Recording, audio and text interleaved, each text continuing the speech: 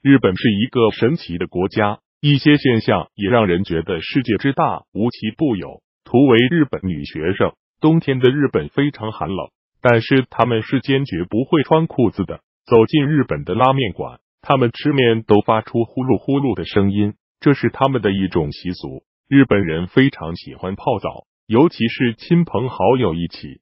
把生鸡蛋打在米饭上，直接就吃了。你能做到吗？